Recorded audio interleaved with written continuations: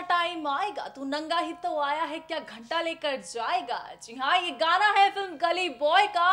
ये film box office पर इतनी बेहतरीन कमाई कर रही है लोगों के दिलों में। इतनी ज़्यादा छा गई है कि इस फ़िल्म का एक एक कैरेक्टर हर किसी को याद है। एमसी शेर तो आप सभी को याद ही होंगे। भाग भाग भाग भाग, शेर आया शेर। जी हाँ ये गाना है एमसी शेर का, जिसने इसका किरदार निभाया था, उनका असली नाम है सिद्धांत चतुर्वट। आपको आज हम उन्हीं के बारे में बताने वाले हैं, यानी कि उर्फ़ एमसी शेर के बारे में। नमस्कार, मैं हूँ सुगंध और आज हम बात करेंगे एमसी शेर के बारे में कि किस तरह से हाल ही में गली बॉय की पूरी टीम पीवीआर में शामिल हुए और यहाँ पर उन्होंने लोगों को कितना ज़्यादा एंटरटेन किया है। तो फिर आइए डालते हैं नज़र आज की हमारी इस खास रिपोर्ट पर और देखते हैं कि आखिरकार एमसी शेर ने किस तरह से अपना जादू दिखाया है।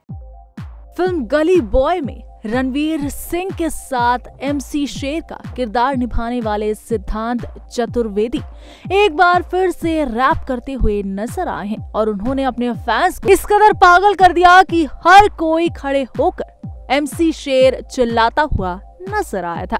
दरअसल आपको बता दें कि रणवीर सिंह एमसी शेर उर्फ़ सिद्धांत चतुर्वेदी और जोया अख्तर हाल ही में पीवीआर में शामिल हुए थे, जहाँ पर उन्होंने अपने फैंस से मुलाकात की और जिस तरह से एमसी शेर ने सबको अपना दीवाना बना दिया, वो वाकई काबिल तारीफ़ था। आइए आप भी देखिए क्या कुछ खास रहा हमारे इस वीडियो में।